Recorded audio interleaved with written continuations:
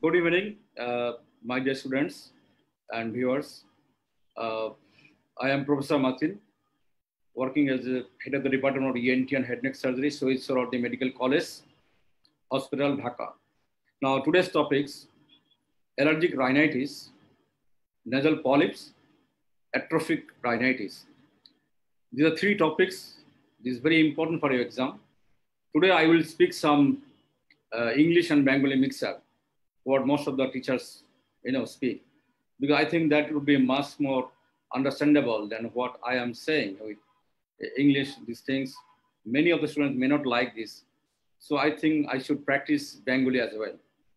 Now, allergic rhinitis, uh, the first one. Look at this picture. ছবিটা দেখলে বুঝতে পারবা দেখো আমার বাংলা অত ওরকম মানে প্রাণবন্ধ বাংলা না কিছুটা আমার আঞ্চলিক কি আছে If you look at the picture you see the patient has got running nose no just carrying a handkerchief. Uh, the eyes are very congested you know. So allergic রাইনাইটিসটা ওই রকমই অ্যালার্জিক রাইনাইটিসটা যে সমস্ত রোগীগুলো আসবে দেখবে যে তার সবসময় নাক দিয়ে পানি পড়বে নাক চুলকাবে চোখ চুলকাবে দেখবে ইচিং হবে নাক বন্ধ থাকবে সবসময় হাতে টিস্যু পেপার নিয়ে থাকবে।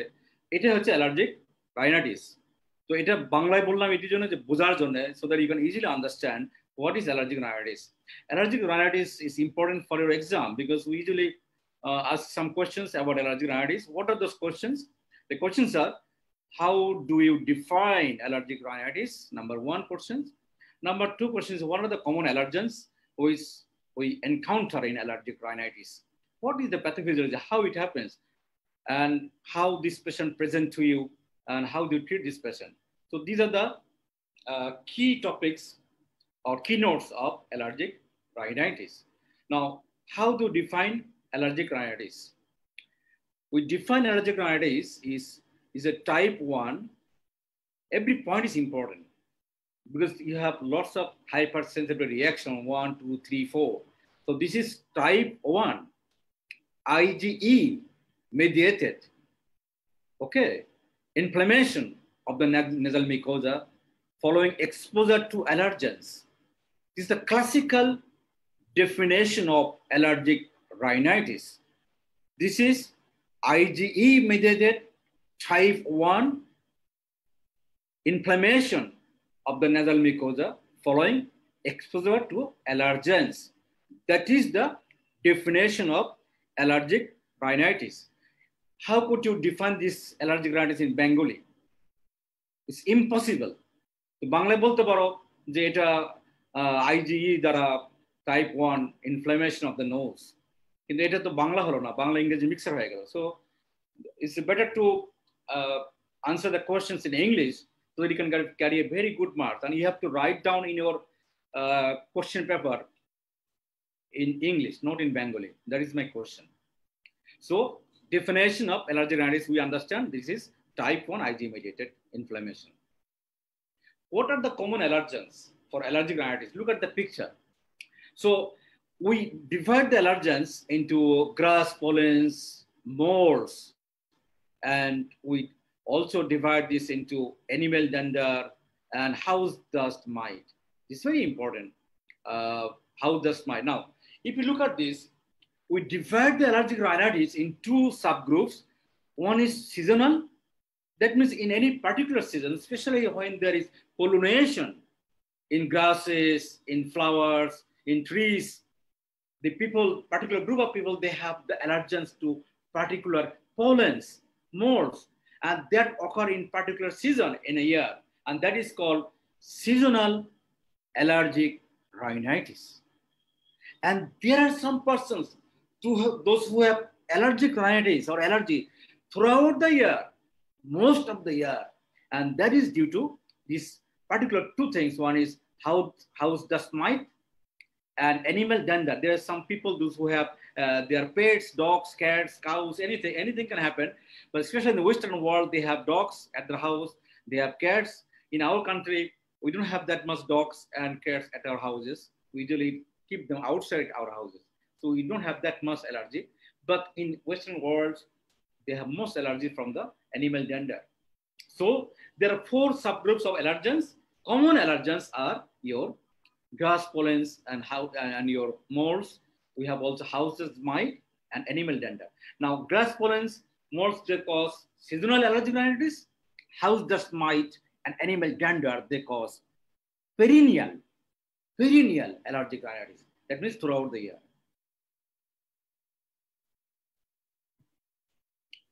What is the pathophysiology of this allergic rhinitis? Now, this is this picture is uh, not uh, the easy one, but I want to make you understand very easily.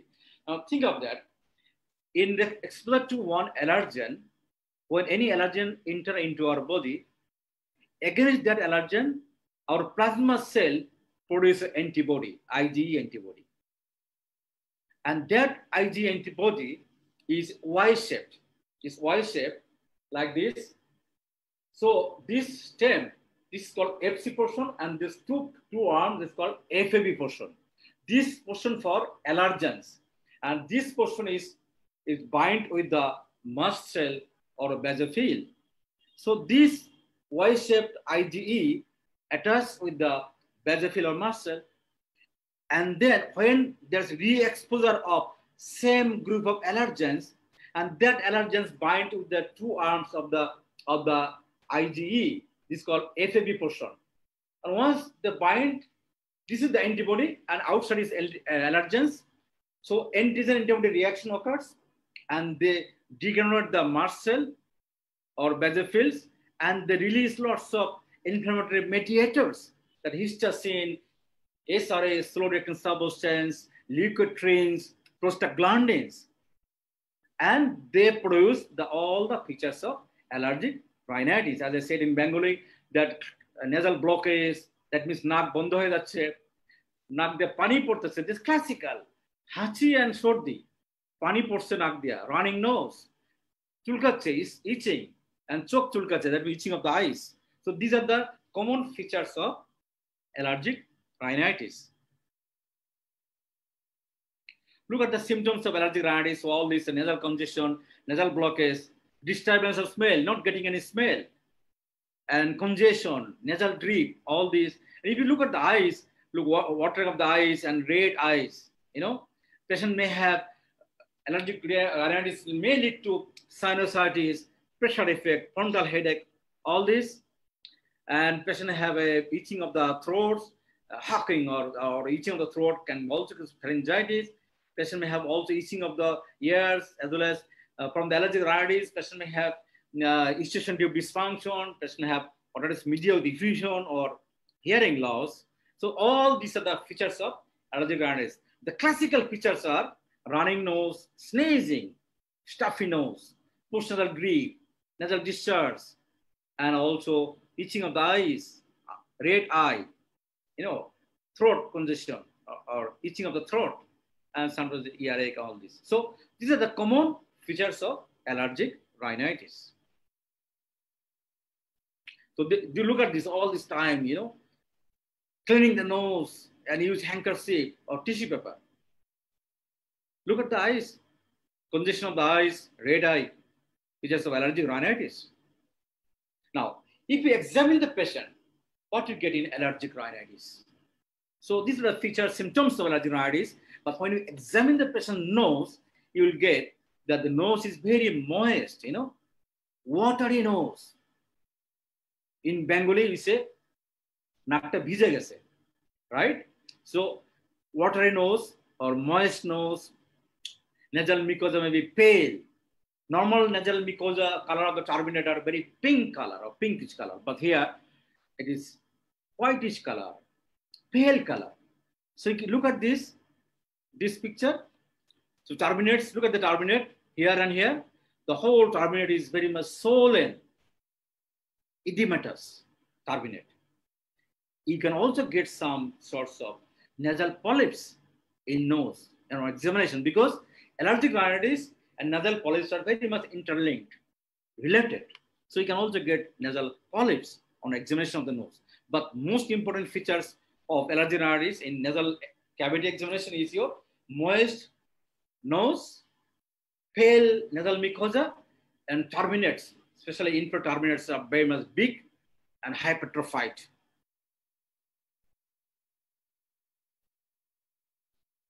Now, how to treat allergic rhinitis? The number one is avoidance of allergens. Is it possible? Well, it's very difficult, very difficult to avoid allergens. But if there is a known allergens, like in food allergy or your house dust mite, we say you can change the carpet, you can clean your bed sheets time to time, you know. You can also wear a mask and uh, you can avoid uh, your pets, like your dogs, your cats, try to get away from that. In this way, and also during Therium pollination, you can also wear a face mask. You can try to avoid that area. So these are the avoidance allergens. But uh, in your exam, you only write avoidance allergens, one line. You don't need to explain. Okay. Next is medical treatment. That is the most important treatment of allergic rhinitis. Now, what are the medical treatment for allergic rhinitis? We usually use antihistamine. You can prescribe any antihistamine, uh, fexofenadine, uh, non-sedative, but it's less effective uh, against allergy. Mostly you can use cetirizine, loratadine, any preparation, montelukast, rupatadine, any antihistamine you can use once daily, especially at night time. And the effective treatment of allergic rhinitis is your steroid nasal spray. That is a very much effective. Fluticasone, beclomethasone, mometasone, momison or metaspray, two puffs at each nostril, two times a day for three to six months. Any other spray. So steroid nasal spray is very important. Antihistamine, important. Other antihistamine like sodium cromoglycate, these are also available, but these are the classical treatment. Yes, antihistamine and steroid nasal spray. Now, other uh, treatment most of the cases improved by these two treatment, but sometimes still the turbinate is very big. Patient cannot have nasal breathing very well. So you have to reduce the size of the turbinate by surgical treatment. This question we ask in the exam. What are the surgical options available for hypertrophied inferior turbinate? That means the turbinate is very big as you uh, seen in your, your picture. How to reduce the size of the turbinate. So there are some surgical options for turbinate hypertrophy. The surgical treatment, number one is electrocauterization of the turbinate, ECT. Number two, submucous diathermy of the turbinate is called SMD. And number three is your uh, partial inferior turbinectomy.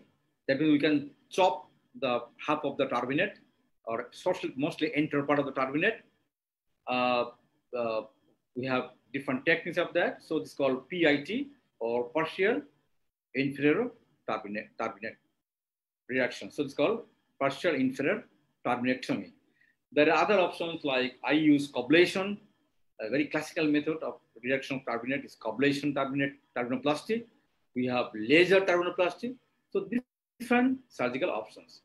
What about the immunotherapy? There is one type of vaccine.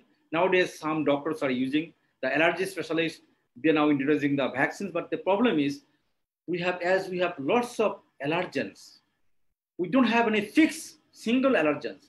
So a purified allergens we can in, uh, inject uh, and in response to that purified allergens, like any other vaccines, you know, they produce blocking antibody. This is called IgM antibody.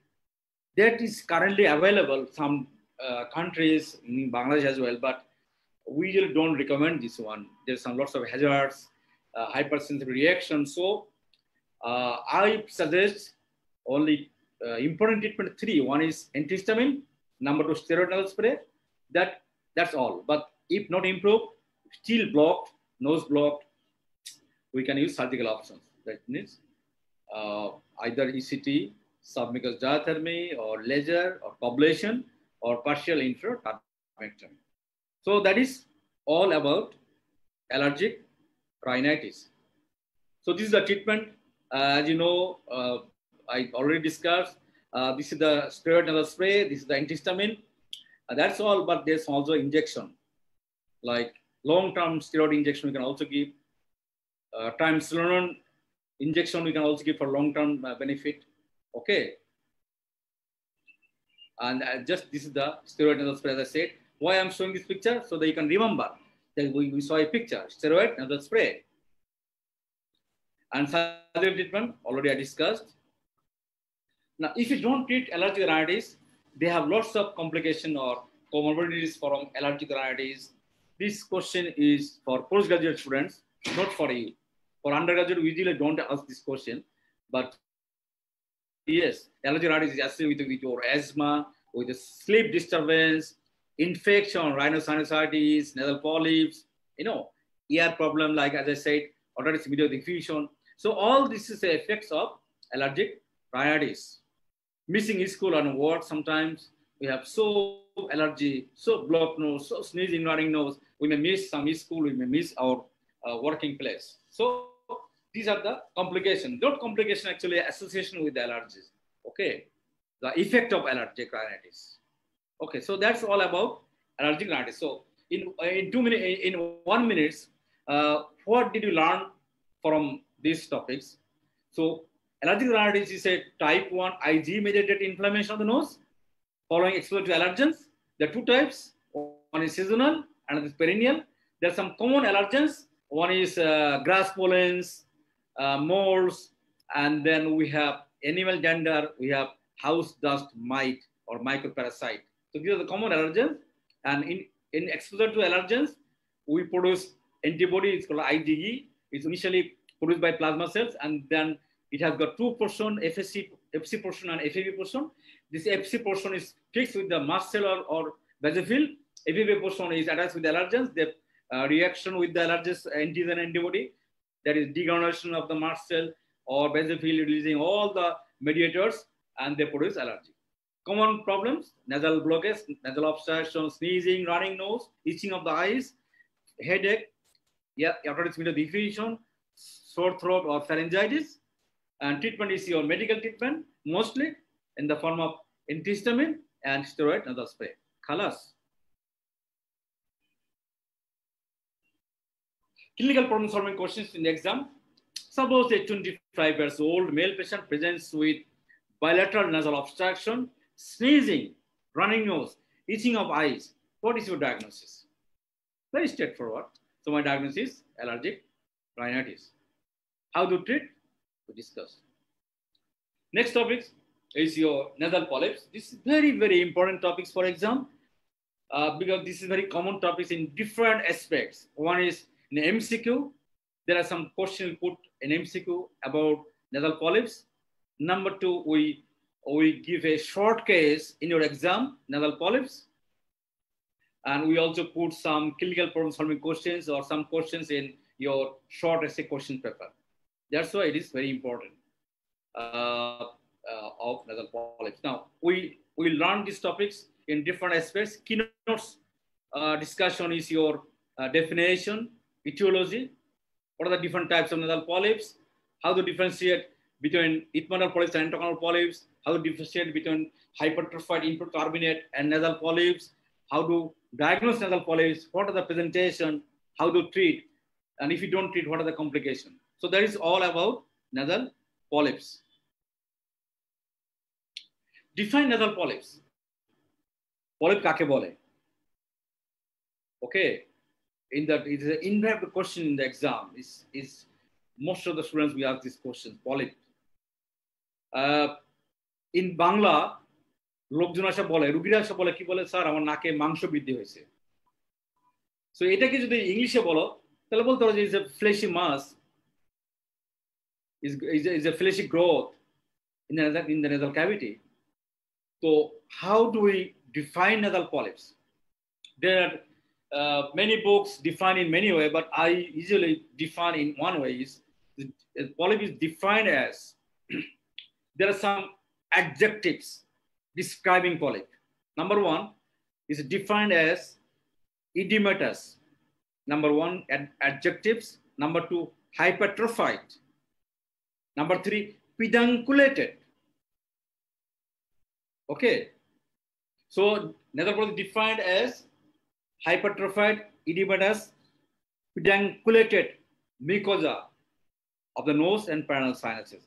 That means mostly is coming from the paranasal sinuses when the lining mucosa is initially inflamed or hypertrophied, then in the connective tissue stroma, there is lots of fluid collection or water inside, so it's edematous. And then due to the nose, repeated nose blowing, or there is a gravity, you know, gravity, always pulling that hypertrophied mucosa, and then gradually they become pedunculated. That means ঝুলে পড়ে। গ্রামগঞ্জে দেখছ তোমরা মাচার ভিতরে লাউ দিয়ে যায়। মানে লাউ যখন হয় এটাকে কি লাউই তো বলে? মানে কি বলে এটাকে? লাউ বা কদু যাই বলো না কেন দেখবে যে প্রথম দিকে একটু হয় অল্প হয় গ্রাজুয়ালি গ্রাভিটি নিচে টানতেছে। তাদের লাউগুলো এরকম ঝুলে একদম পলিপের মতো হয়ে যাচ্ছে। তো পলিপগুলো ওইরকমই basically so this is defined as hypertrophied, edematous, pedunculated mucosa of nose and paranasal sinuses, clinically present as a grayish white or yellowish structure. So you can say polyp is, is extra growth or, or a, a place of, of tissue in the nasal cavity. Usually looks like a grayish white or, or whitish in color. Definition of polyp, যেটা বললাম মনে রাখার চেষ্টা করো তিনটে adjective ইডেমাটাস hypertrophied, pedunculated, prolapsed and pedunculated mucosa of, of nose and paranasal sinuses. That is polyps. Clinically present as yellowish structure or, grayish white structure. Now, what are the etiology of polyps? Why the polyps occurs? We usually, when we were in medical student, our professor Nulamin sir, FRCS, he described etiology of nasal polyps only three. One is allergy, number two is infection, and number three is combination of allergy and infection. But, but nowadays, we say the etiology of nasal polyps, number one is idiopathic. That means we don't know why there is polyps. আমরা জানি না কেন polyp হয় so number one etiology is idiopathic. Number two, allergy. It can be allergic to any anything as I described, allergic rhinitis. It may be food allergy, environmental pollution, any other allergy. So number two is allergy. Number three, repeated infection of the nose and paranasal sinuses is a, a, leading to inflammation of the lining mucosa, and they change the mucosa basically due to, to chronic inflammation from ciliated columnar epithelium to cubical epithelium or squamous epithelium, you know. So infection. And number three, so number one, idiopathic. Number two, allergy. Number three, infection. Number four, combination of allergy and infection. That means mixed. Both can exist. Infection, allergy can go side by side. Okay. Then there is some other cause of allergic, uh, another polyps is your drug is called aspirin. Aspirin is an important drug for allergy and for polyps. Food allergy, there are some disease maybe linked with the nasal polyps like your celiac disease and cystic fibrosis. So these are the common uh, etiology of nasal polyps. We can also put in MCQ. Types of nasal polyps. Usually we divide the nasal polyps in two types. One common is ethmoidal polyps and another is antrochoanal polyp. For exam, only you have to know these two types that ethmoidal polyp is very common and antrochoanal polyp is very rare. Mostly patient has got polyp. When you say polyp, we always say, we always mean ethmoidal polyps. And we have also antrochoanal polyp. Now, what about the ethmoidal, what are the ethmoidal polyp, antrochoanal polyp? That is a question we usually ask this in the exam. Look at this polyp. This is my picture. Actually, I, I removed after endoscopic surgery. Uh, look at this. The, these are macroscopic polyps, and these are the the root. That means from the origin of the polyps, we try to take it out by endoscopic sinus surgery. If you don't remove this one, if you remove only the outer one, then the polyp will come back. Or recurrence is very high. So these are the ethmoidal polyps. Now, what are the features of ethmoidal polyps? The first thing is the ethmoidal polyps usually occurs in adult patient. So ethmoidal polyps occurs in adult patient, number one point. Number two point, ethmoidal polyps arises from ethmoidal ear cells. So অরিজিনটা হচ্ছে ইথময়ডাল ইয়ার sales থেকে ইথময়ডাল পলিপসগুলো আসবে origin করবে number two point number three point the ethmoidal polyps R bilateral দুই নাকি থাকবে? Nasal obstruction থাকবে দুই নাকি? বাইল্যাটারাল ইনফাল পলিপস নাম্বার ফোর পয়েন্ট এটা হবে number multiple in number look at the picture multiple one two three four five six seven eight here is eight polyps so multiple in number ethmoidal polyps and শেপটা হবে কেমন? Looks like a bunch of grapes দেখো, এই পলিপটা যদি দেখো, তো মনে হবে যে এটা আঙ্গুরের থোকা। আঙ্গুরের থোকা আমি এটাকে খেয়ে ফেলবো okay I want to enjoy this grapes look like a bunch of grapes. So this is epinal polyps. Now, it usually presents in the internal cavity. Epinal polyps hardly go back to the posterior choana. That means when you examine the posterior space or nasopharynx, you will not get any polyp in case of epinal polyps. Usually, mostly in the nasal cavity. So it is arises from the air cells. Now, question is, why ethmoidal polyps multiple in number? Why? The answer is as the air cells are multiple, not single, and it arises from the air cells. That's why ethmoidal polyps are multiple in number. So this is the features of ethmoidal polyps that it is common in adult patient. Most polyps are ethmoidal polyps. They're linked with the allergy. Most etiology of the polyps is allergy. Is bilateral, multiple in number, and looks like a bunch of grapes. So that is your ethmoidal polyps. What about the antrochoanal polyp?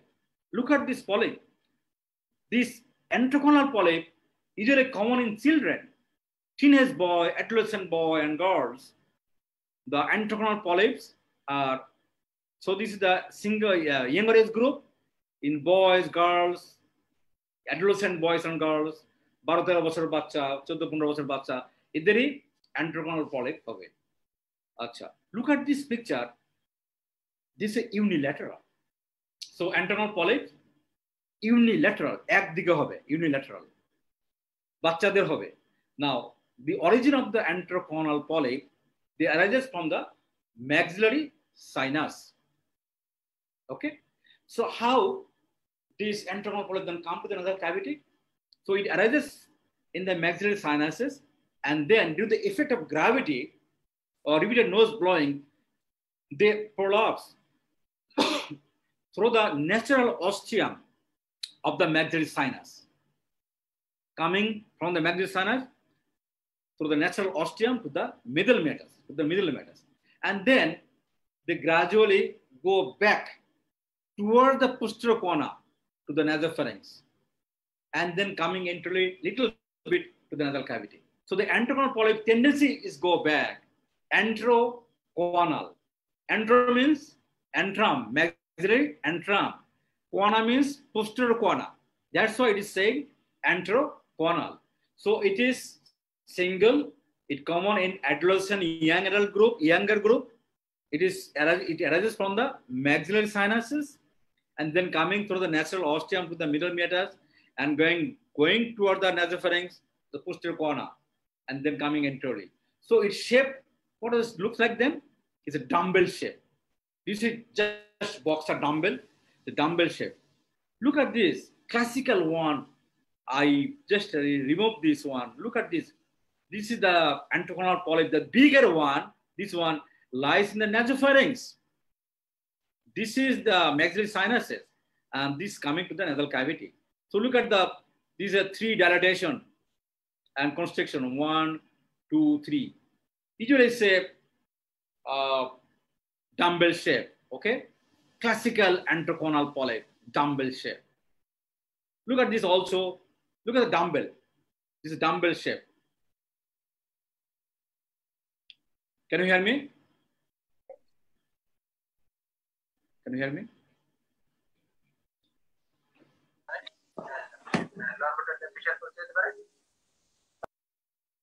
Is it net is okay? Sir, okay. No, that's okay, okay. Okay. So this is dumbbell shape. Look at the picture. Uh, if you see the previous picture, you know, lots of a bunch of grapes, but here is a uniform uh, dilatation and constriction uh, of antrochoanal polyp. Now, what about this one? This is the aged man. Suppose this is a 60 years old male patient presents with a unilateral polypoid mass, is with reddish in color. Is it nasal polyp? The answer is no. Many of the ENT doctor, they do uh, they do mistake of saying or di diagnosing a 45 years old or 50 years old uh, uh, patient with unilateral polypoid mass as antrochoanal polyp. That is absolutely rubbish. Okay, absolutely rubbish. Never occurs antrochoanal polyp in in older age group with this scenario. And I'm very sorry for this doctor. Never. This is the nasal nasal tumor or nasal mass. Okay, this is not antrochoanal polyp. Polyp usually looks like a grayish white in color. And this is a unilateral nasal mass. This is also a reddish in color unilateral nasal mass. It's not antrochoanal polyp. So what did you learn from this discussion? That antrochoanal polyp occurs in children, adolescent, is grayish white in color. If any unilateral nasal mass occurs in older age group, and that is not antrochoanal polyp. Now, clinical presentation, how these nasal polyps present to you. Now, it depends on actually antrochoanal polyp or epiconal polyp. Let us discuss the epiconal polyps first. Patient may have nasal congestion, bilateral nasal obstruction. Patient may have allergic component like sneezing, running nose. Patient may have postnasal drip, nasal discharge. From the nasal polyps, patient may have sinusitis. So patient may have facial pain, doesn't have uh, frontal headache or facial pain. Okay. And what of the smell? Patient may have disturbance of smell. So these are the features of ethmoidal polyps. So nasal obstruction, nasal discharge, sneezing, running nose, blood sensation, facial pain, headache. Patient may have disturbance of smell, maybe anosmia or maybe hyposmia. So this is the classical presentation of ethmoidal nasal polyps. What about the antrochoanal polyp? The antrochoanal polyp usually due to infection. Ethmoidal polyps usually due to allergy. So antrochoanal polyp patient may present initially with the unilateral nasal obstruction and then nasal blockage. Very rarely they have itching, running nose, or nasal you know, congestion. Mostly they have unilateral nasal obstruction initially. But when the polyp go back and in the posterior choana, they fill up the whole posterior choana and they can block the both posterior choana. So eventually they may present with bilateral nasal blockage or bilateral nasal obstruction. Okay, but initially unilateral obstruction. Patient may have as disease in the nasopharynx. So in the nasopharynx, what is the important structure there? Is the eustachian tube. So antrochoanal polyp can block the eustachian tube causing earache, recurrent earache. Patient may have otitis or OME. So these are the features of antrochoanal polyp. In addition to nasal problem, patient may have ear problem, earache, hard of hearing. Patient may have otitis media with effusion, so patient may have hearing loss in one side. Patient may have eventually, if they block the both sides, that can also block both ear. But usually unilateral earache, hearing loss, nasal obstruction, unilateral, all features of antrochoanal polyp. If you examine the, the features, runny nose, disturbance smell, now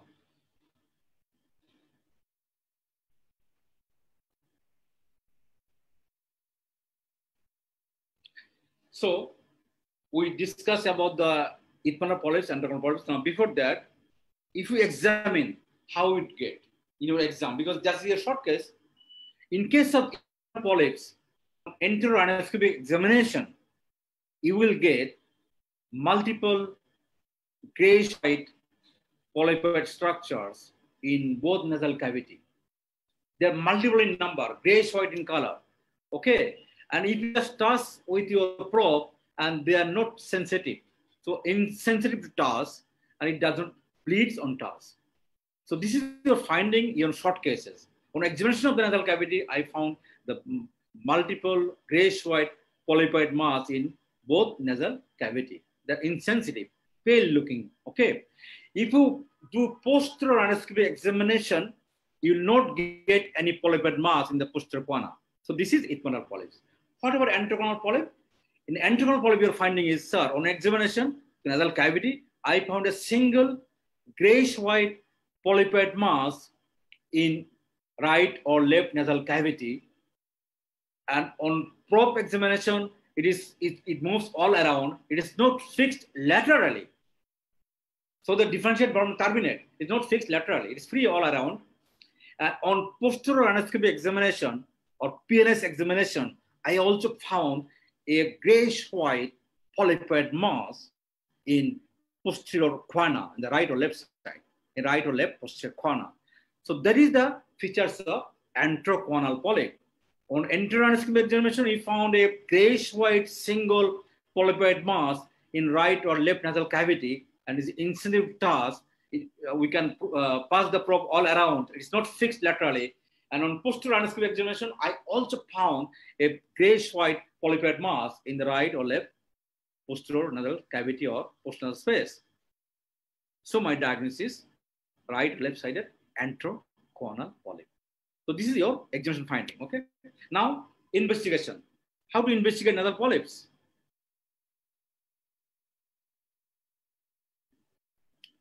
Now, if you think of the ethmoidal polyps, sometimes we send some blood for, uh, you know, allergic test like your uh, total eosinophil count or IgE test. Uh, this actually to find out the link of ethmoidal polyps with allergy. But if I say, what are the important investigation for nasal polyps? Uh, I think that is radiological investigation.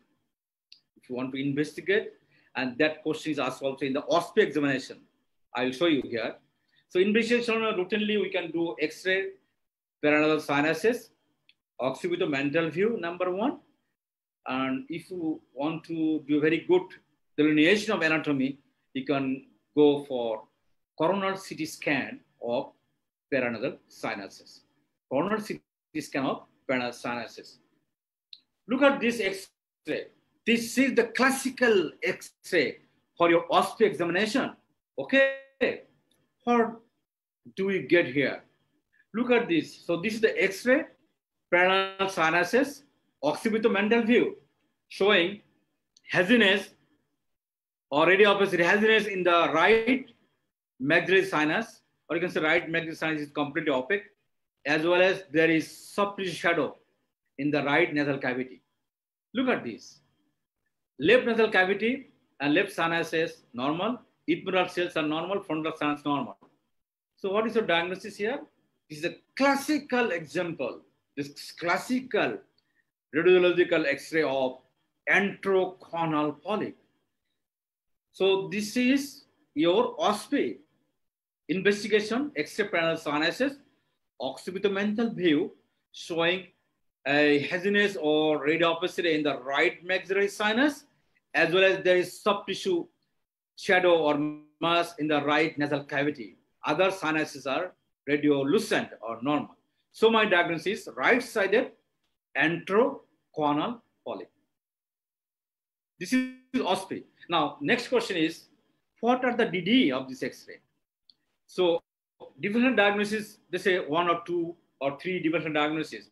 Number one is your Ringer's papilloma, because they're also coming from the uh, maxillary sinus and coming to the nasal cavity. So it's called Ringer's papilloma, number one. Number two, it can be angiofibroma, juvenile nasopharyngeal angiofibroma, or it can be carcinoma of the maxillary sinuses.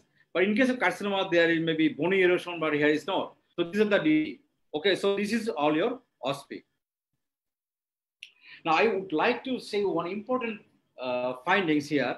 Another X-ray, you can also get X-ray, soft tissue, nasopharynx, lateral view.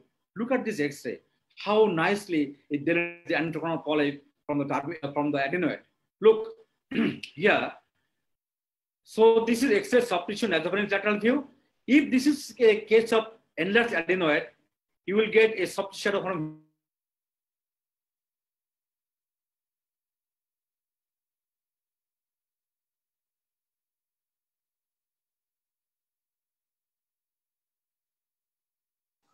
এটা sir শোনা যাচ্ছে?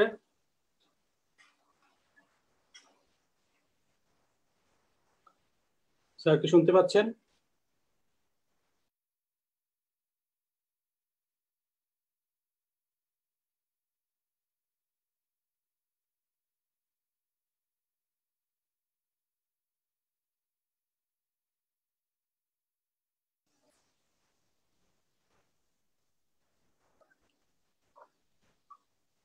সম্মানিত চিকিৎসক বিন্দু আমরা মনে হয় স্যারের সাথে সংযুক্তি বিচ্ছিন্ন হয়েছে।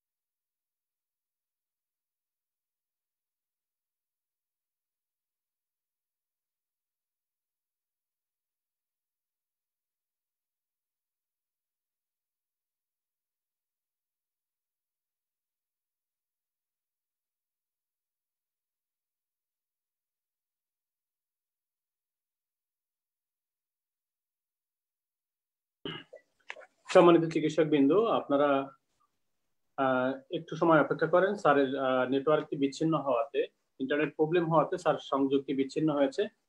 অল্প সময়ের মধ্যেই স্যার আবার যুক্ত হবেন।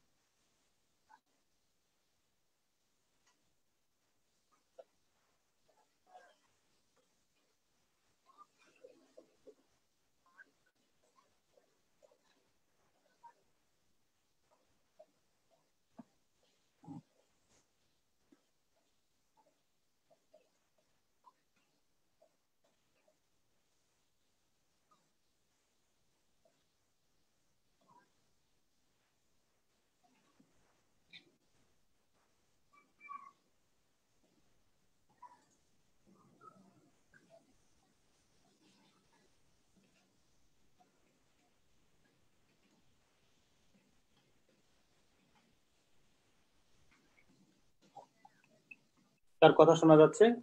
আচ্ছা ওকে। যাচ্ছে না? তাহলে আমি এটা দিয়ে দিই। তাহলে আমরা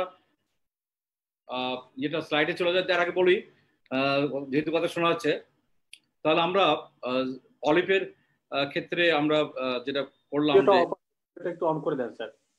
হুম? আপনার ভিডিওটা অফ আছে স্যার। ভিডিওটা একটু অন করে দেন স্যার। ভিডিও অন করো। ওকে স্লাইডে চলে জি ক্লিয়ার জি স্যার। আচ্ছা এক- সেকেন্ড ধরো তো। হ্যাঁ শেয়ার করো। এক সেকেন্ড ধরো। স্লাইডটা আসলে নেটওয়ার্কে আমাদের ওয়াইফাই ঝামেলা হচ্ছে বোধ হয় ওকে তাহলে এখন দেখা যাচ্ছে না স্লাইডটা জি স্যার দেখা যাচ্ছে। ওকে তাহলে আমরা দেখছি অ্যান্ট্রোকনাল পলিপের ক্ষেত্রে air কলামটা posterior to the soft shadow but অ্যাডনোডের ক্ষেত্রে anterior to the soft shadow এটাকে দেখানোর জন্য এই এই এটা নিয়ে আসছি এক্সট্রাটা is very good X-ray is given in my book as well এটা তো মনে রাখবে তোমরা সো এক্সরে সফট টিস্যু নেক ল্যাটারাল ভিউ আমরা করতে পারি you can do actually in case of অ্যান্ট্রোকনাল polyp তাহলে আমরা কিন্তু এটা করতে পারি so x-ray PNS occipital view and also we can do x-ray soft tissue nasopharynx lateral view like adenoid but the important part is your ct scan the coronal ct scan of paranasal sinuses you can see clearly here the soft shadow or hypertensive shadow in the maxillary sinuses. Uh, and this is ostium and also filling the nasal cavity. What about the ethmoidal polyps?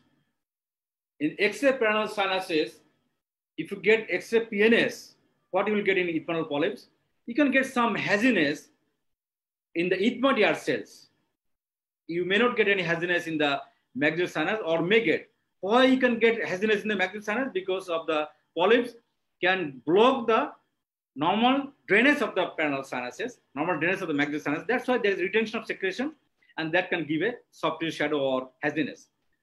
But ethmoidal polyps actually, to clearly identify the ethmoidal polyps, the most important investigation is your coronal series scan of paranasal sinuses You see the polyp. Look at this here, is a whole, the polypoid mass in the ethmoid areas here, mucosal thickening as well. And look at this here, lots of polyps all around the air cells, okay? And also there is retention of secretion. You can say, is this polyp coming from the maxillary sinus? No, this is due to retention of secretion on both sides as they block the sinuses. And this is another classical uh, uh, example of ethmoidal polyp. Look at this. The whole nose is completely blocked by soft mass, as well as they also retain the secretion, the, prevent the secretion of the sinuses, maxillary sinuses. So all are hazy or hyperdense area. So this is the investigation of choice is a coronal CT scan. But the problem is in our country, it's expensive uh, CT scan usually cost about four, 5,000 taka, sometimes 3,000 taka, but our people are very poor, you know. So for you people, what to do? But for the cost of the treatment, if it is possible, we have to do CT scan. But because without CT scan, we cannot do endoscopic sinus surgery. But sometimes I do uh, because I know I am, I am following the disease. So in the endoscope, I follow the polyp and I take it out. Uh, sometimes I don't need CT scan, but this is for me actually. But for general people, your investigation of choice is coronal CT scan of paranasal sinuses. Now, how to treat? How to treat nasal polyps?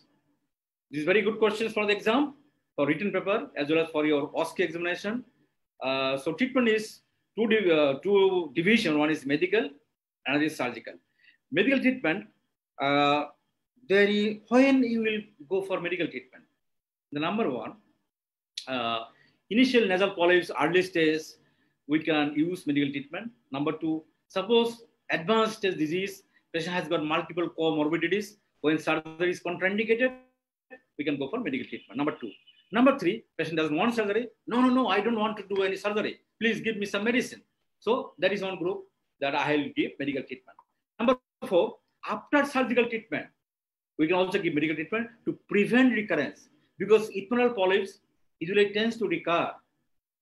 The people will say, oh, doctor, I have given you lots of money, but my polyp come back and give my money back. Should we give, give your money back? No. So for that reason, to prevent recurrence, sometimes we, we give medical treatment. What are the medical treatment for nasal polyps? Especially for ethmoidal polyps. We're talking about ethmoidal polyps because again saying, when you say nasal polyps, we always say ethmoidal polyps. But surprisingly, in our country, we are getting lots of antrochoanal polyps as well. Even in our textbook, Scott Brown, now they, they didn't write even a single word of antrochoanal polyp. They all write about nasal allergy, infection, and, and ethmoidal polyps. But still, we are getting antrochoanal polyp, and you will be getting antrochoanal polyp in your exam. Okay. So, medical treatment in the form of number one is antihistamine, like Montelukast group, um, uh, Montelukast 10 milligram in case of adult, number one. Number two, steroid nasal spray, like allergic rhinitis treatment. Steroid nasal spray is very effective. We can reduce the size of the polyps with steroid nasal spray.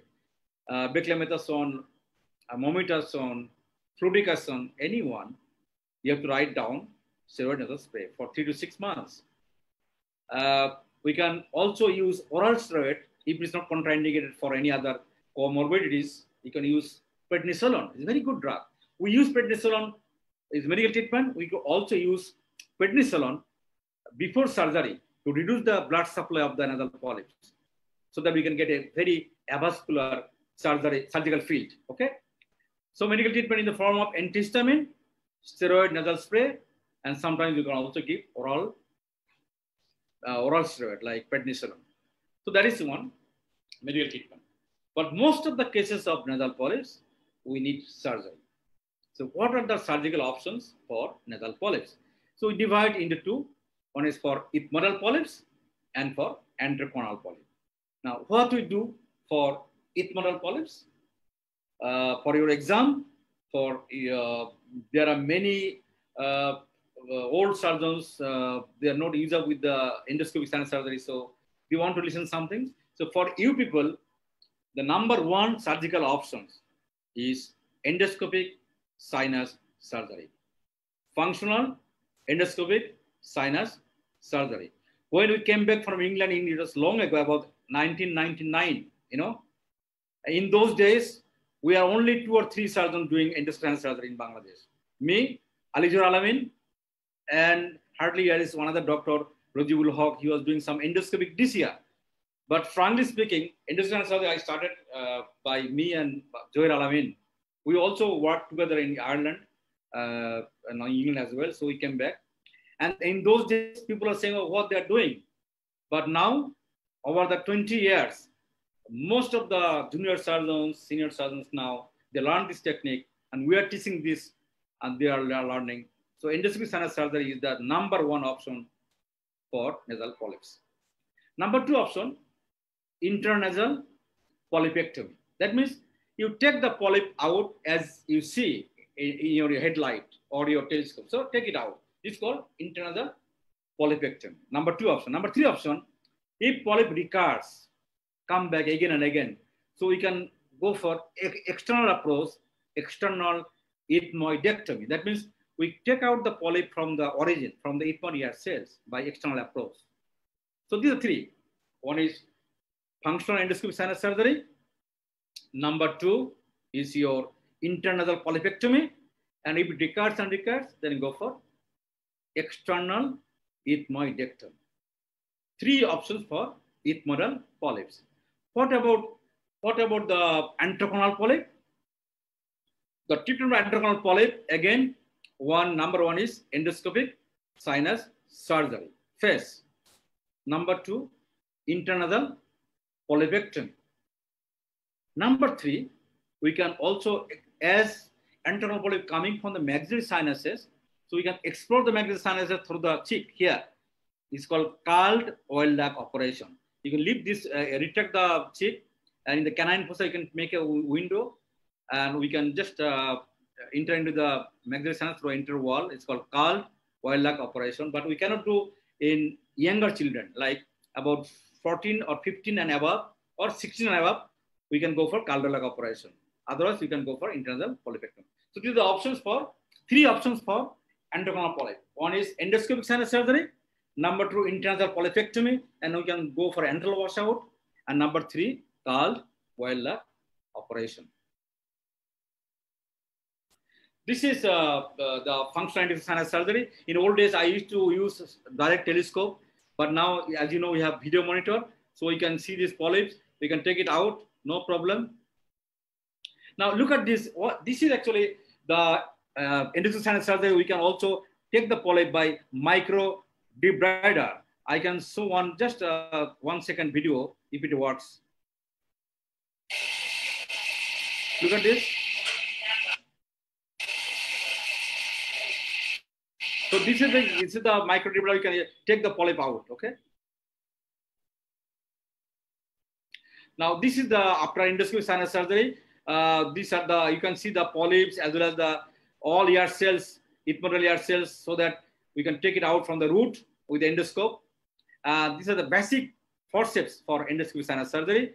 This is straight biting forceps. This is the back biting for antrostomy. And this is upward biting forceps. We can take polyps, uh, take it out. We can follow the polyps, how it goes. Where it, where it go? I want to take it out like that. Okay. And this is a telescope. Mostly is a curved towards uh, zero degree telescope. We can use also 30 degree. And this is a Freer's elevator. So these are the basic instruments for endoscopic sinus surgery. Now, so what did you learn for ethmoidal polyps? Uh, sorry, for polyps, the polyps edematous triangulated uh, uh, lesion in the nasal cavity. uh, grayish white in color. Uh, usually, ethmoidal polyps look like a bunch of grapes. Antrochoanal polyp is a dumbbell shape. Antrochoanal polyp arises from maxillary sinus and polyp from the ethmoid air cells. Or the antrochoanal is single, this is multiple. Uh, and the treatment options for polyps, especially ethmoidal polyps, is surgery, and that is endoscopic sinus surgery. For all treatment of polyps, if you don't remember anything, remember only one option is functional endoscopic sinus surgery or FESS. Other options, as I said, and medical treatment we have also in the form of antihistamine and steroid nasal spray. Uh, so that is all about nasal polyps. Differences between antrochoanal and ethmoidal polyps, we described. One is single, multiple, origin, number, shape, all this. Now, one question very much asked in the exam, how to differentiate polyps from inferturbinate hypertrophy? Many of the younger doctors, they refer us hypertrophy inferturbinate as a nasal polyps. They do mistake. And that question repeatedly asked in the exam, in your short, short uh, cases or in your oral exam, how to differentiate hypertrophied inferturbinate from nasal polyps. So number one is, if we say only one difference, that is inferturbinate is fixed laterally with the bones with the infraconcha. So turbinate is always fixed laterally, but polyp is free all around. Number one, and that is the difference. Other differences: color, polyp grayish white or white color, turbinate pink color or red color. Sensitivity: if you touch with the probe, polyp painless, but inferturbinate sensitive, painful. If it can bleed on touch in case of turbinate, in polyp doesn't bleed on touch. So these are the difference between polyp and, and hypertrophied inferturbinate. This question is very uh, much asked in the exam. Now, next topics, uh, I, I will take only few minutes for that because we, we started today, we started late actually. I think 15 minutes later I started. Uh, but the thing is, I was uh, from just I was giving you the assurance that I will uh, speak uh, Bengali, but unfortunately, uh, this is not my habit and how to do actually because I tried to speak Bengali, but it's not coming up. So, what I could do, I think please forgive me because uh, spontaneously this English is coming up, not Bengali. So, what I could do, I think you will understand, no problem. Now, next topic is your atrophic rhinitis. I will take only five minutes because this is very important uh, question for exam. Repeatedly ask this question in the oral exam, in your short notes. What is atrophic rhinitis? So it is defined as chronic inflammation of the, of the nose where there is atrophy of the turbinate, mucous membrane, glands, nerves. That means all the components in the, in the, in, in the nasal cavity, they are atrophied. Okay, they are atrophied.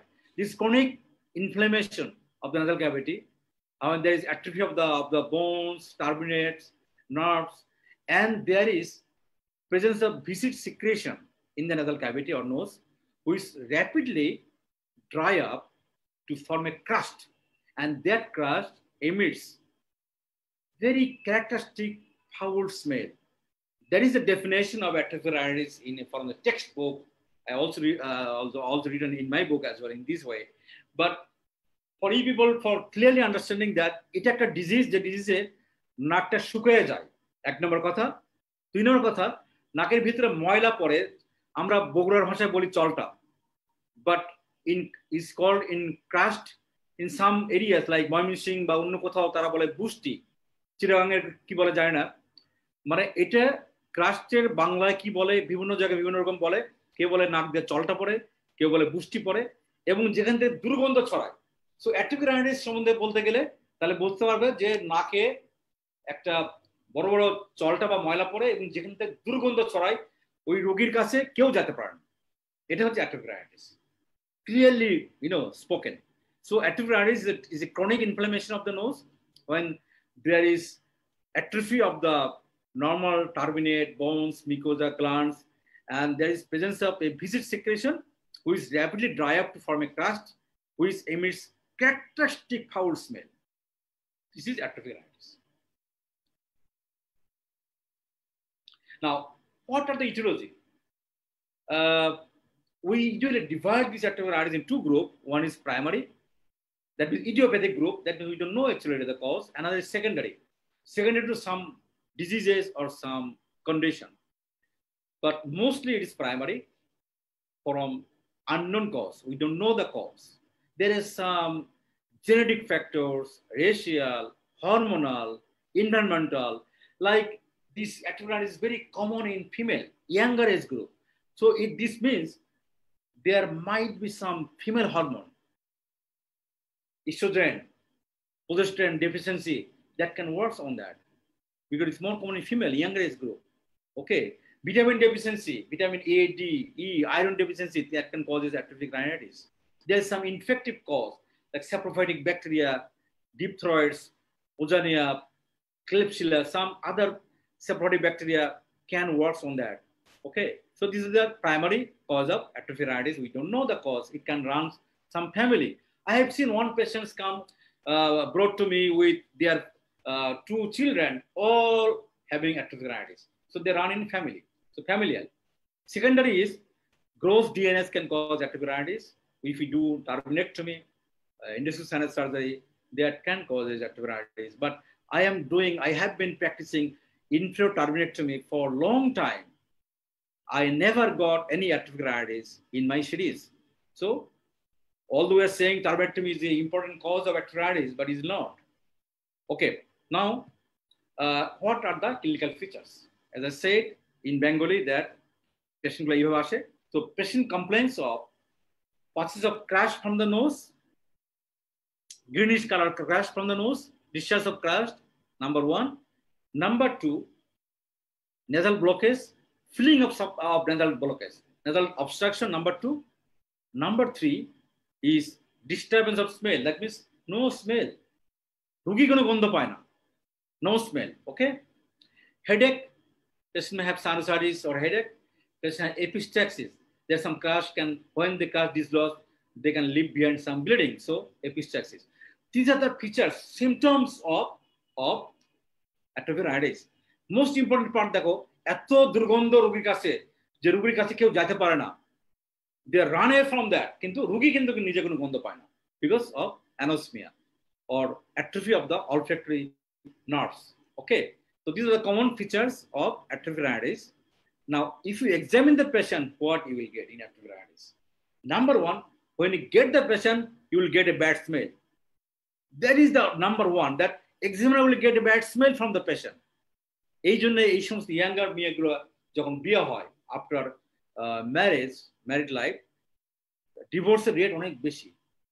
Husband জানে না আগে, বিয়ে হয়ে যাওয়ার পরে দেখা যায় কয়েকদিন পর ও মাই গড এক বিছানে ঘুমাতে পারছে না।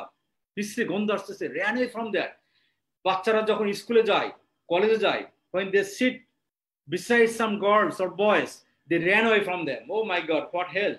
এইরকম একটা পরিস্থিতি। সো দ্য সোশ্যাল ডিস্টেন্স তাদের করে তারা মানে socially isolated from the society এই সমস্ত রুগীদের সাইকোলজিক্যাল ব্যাকগ্রাউন্ড হয় অনেক। ডিভোর্স হয়ে যাচ্ছে অনেক। কিন্তু অনেক ফ্যামিলিকে দেখেছি couple came to my chamber with the অ্যাটোবিলারিস patient and brought their child about five six years old or even seven years old and I I can't believe this how could this husband stay with this wife for a long time, for 10 years, 15 years? I must salute that husband. If I were in, in his position, definitely I could divorce my wife or I ran away from that. I definitely, definitely. Okay, so this is rhinitis. Now, when you examine the patients, you will get a bad smell from the exam uh, from the patient, and you examine the patient's nose, you'll get some greenish crash from the nose, and you get a roomy cavity, nasal cavity. Nasal cavity very roomy because of atrophy of the turbinate. So nasal cavity are very roomy and dry. Okay, and this you will get in examination of the nasal cavity. Now, investigation of atrophic usually you don't need any investigation, we are very straightforward. But still, if you want to do, you can get X-ray, paranasal sinuses, occipitomental view, you will get some sinusitis. Treatment of atrophic very frequently asked in the exam. Invariably asked in the exam. Every alternative students will ask atrophic That is very important. Now, mostly medical treatment in the form of you have to discourage the crust. by giving some alkaline nasal dose. So what are those? 25% glucose in glycerin. 25% glucose in glycerin, nasal drops, very frequently, three, four, five times a day. And that's to be continued. You don't give it for only for time being, for one month, two months, but it has to be continued. 25% glucose in glycerin. What, are, what does it work? How does it work? Now, glucose you are giving for feeding the saprophytic bacteria that, oh bacteria, please don't eat my turbinate. I am giving, I am giving you sugar. I'm giving sugar, please eat sugar and spare my turbinate. That is why I'm giving 25% glucose. And for uh, in glycerin, to lubricate the discharge, the crust, so that the crust can easily dislodge from the nose and take it away so that that, that can heal very nicely. So that is one, 25% glucose in glycerin to discourage the crust. And number two, alkaline nasal dose like sodium bicarbonate, sodium chloride, sodium borate, or simple alkaline or normal saline wash. That means it, uh, take a, uh, take a uh, just a pot, small pot with some slightly warm water, put some normal saline or table salt, mix it up and, and clean the nose with your Higginson syringe or PPCG syringe, flush the nose three, four times, okay? So this is nasal dose, 25% glucose in glycerin, nostril drops available, and that is one medical treatment. Now, and also sometimes if it's block the sinuses, you can also uh, go for antral washout. Once you continue with this and also supplement vitamin, iron supplementation, vitamin D, vitamin A, all supplementation, and patient usually improves with that. And also ask the patient to use some perfume to get the bad smell, uh, to get rid of that smell. Okay, use perfume. In this way, most of the time it heals. But if it not heals, then you go, go for surgical options. Hardly we are now doing surgical options. Mostly we are giving medical treatment. What are the surgical options? Number one is Young's operation that will close the anterior nares and patient us to breathe through the mouth actually. As you close the nares, it, it, it is proved that with the, about one or two year, the turbinate regains its normal position, regains its epithelialization and normal position. And once it regains its normal position, then you open the nasal cavity again. This is called Young's operation or modified Young's operation. Sometimes to give constant supply of, of, of saliva in the nose so that to keep the nose moist, not dry, we sometimes we take the parotid duct. As you know, the parotid duct open in the uh, uh, second upper insert teeth here. So we can take the opening from here and then make a window in the maxillary sinus and then enter the duct to the maxillary sinus. This is called rerouting of the parotid duct to the maxillary sinus so that the nose has got constant supply of saliva and that discourages the crust and that heals the nasal cavity. This is the surgical treatment. But mostly we use medical treatment in the form of alkaline nasal dose, normal saline, and 25% glucose in glycerin. Hardly we use surgical treatment. That is the management of also uh, uh, you have to give some psychotherapy. That is not a cancer. Uh, we will be all right because the patients, those who are married, they're very frustrating, you know, they're very frustrated that what will be happen. So it gives some psychotherapy reassurance that nothing will be happen, we'll be all right. So that is all about now the clinical problem solving questions. A 15 years old female patient presents with foul smelling nasal discharge and spice of crash from the nose and occasional epistaxis. What is your diagnosis? So my diagnosis, atrophic rhinitis. Next question, what are the crusting condition of the nose? Cause of crusting condition nose. Uh, in causology, actually, we ask this question. All the symptoms of nasal, nasal diseases, cause of unilateral nasal obstruction, cause of bilateral nasal obstruction, cause of sneezing, running nose, cause of epistaxis, cause of crusting condition of the nose, cause of foul smelling nasal discharge, all causes, causology we ask in the oral exam. And sometimes we also put in the written paper. Okay.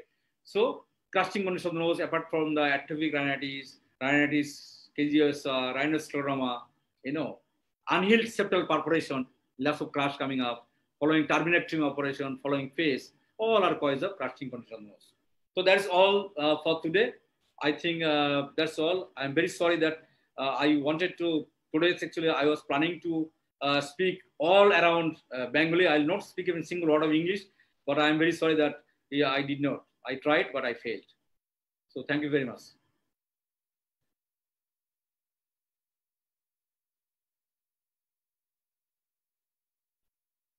কেউ না চলে গেছে। শেষ না? নাকি আবার ইয়ে হয়ে গেছিল? তুই তুই দেখছ না?